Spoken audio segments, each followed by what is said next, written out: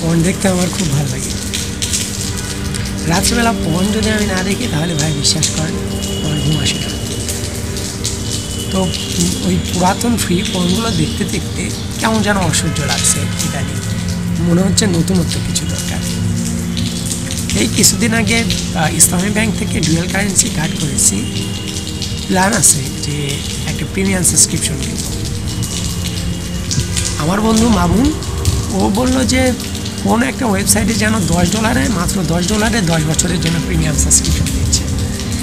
তো ভাবতেছি যে ওইটাই কিনবো। দশ ডলারে যেহেতু দশ বছর, এটা তো মানে অসম্ভব। তারপরেও যেহেতু দিচ্ছে অফার চলতেছে, সেহেতু কিনবো, এটাই ভাবতেছি। তো আমি ভাবতেছি যে আমাদের তিনটা যে বন্ধু, আমরা তিনজন যে বন্ধু আছি, এই তিনজন বন্ধুর থেকে মামুন রৌনক এবং হচ্ছে নিশানের কাছ থেকে দুই ডলার দুই ডলার করে নিব। নিয়ে ছয় ডলার হবে। তারপরে আর বাকি চার ডলার দিয়ে ভাবতেছি যে প্রিমিয়াম সাবস্ক্রিপশনটা কিনবো। তো প্রিমিয়াম সাবস্ক্রিপশন কিনে ইমেল ফরওয়ার্ডিং সিস্টেমের মাধ্যমে যে নতুন পণগুলো আসবে অটো ফরওয়ার্ড করে রাখব।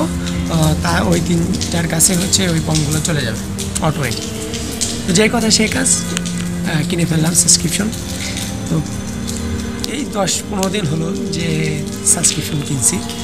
রাস্তা দিয়ে যাই, যে মেয়েরই দেখি, সে মেয়েরই আসলে অনেক ভালো লাগে, অনেক কাছে পেতে ইচ্ছা করে। তো একদিন ইউনিভার্সিটি থেকে ফিরতেছি।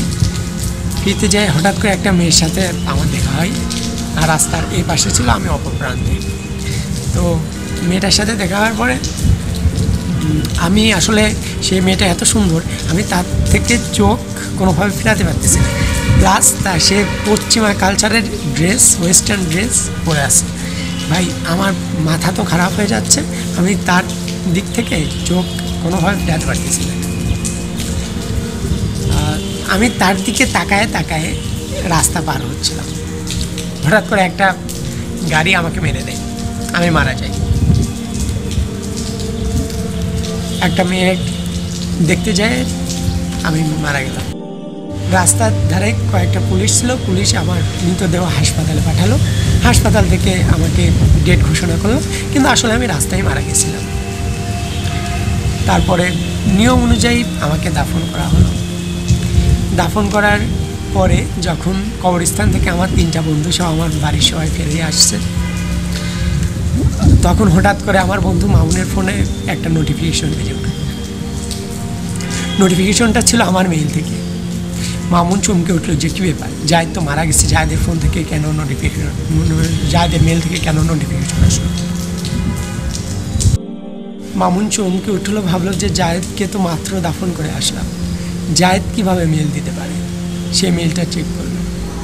দেখেছে এটা যে সে মেল দশ বছরের জন্য যে সাবস্ক্রিপশন কিনছিলাম, সেই সাবস্ক্রিপশনের থেকে অটো ফরওয়ার্ড সিস্টেম করা ছিল অটোমেটিক মেল চলে আসছে। পর্নের মেইল পর্ন ভিডিও নতুন আপলোড হয়েছে, তাই জাতকে মাত্র কবর দিয়ে আসা এটা দেখে মামুন, নিশান, রনক চিন্তায় পড়ে গেল। তারা কোম্পানির সাথে যোগাযোগ করল যে কোনোভাবে এইটা বন্ধ করা সম্ভব কিনা।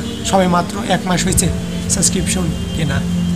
এখনও নয় বছর, এগারো মাস বাকি সাবস্ক্রিপশনের মেয়াদ শেষ হতে।